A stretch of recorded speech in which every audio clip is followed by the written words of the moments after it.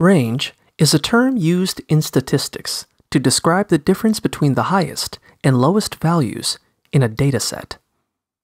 To calculate range, list all of the numbers in your dataset in order.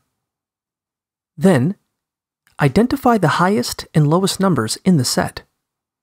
For instance, if your data set consists of the numbers 23, 40, 57, and 95, then your lowest number would be 23, and the highest would be 95. Next, subtract the smallest number from the largest one to find the difference. In this case, 95 minus 23 would give you a range of 72.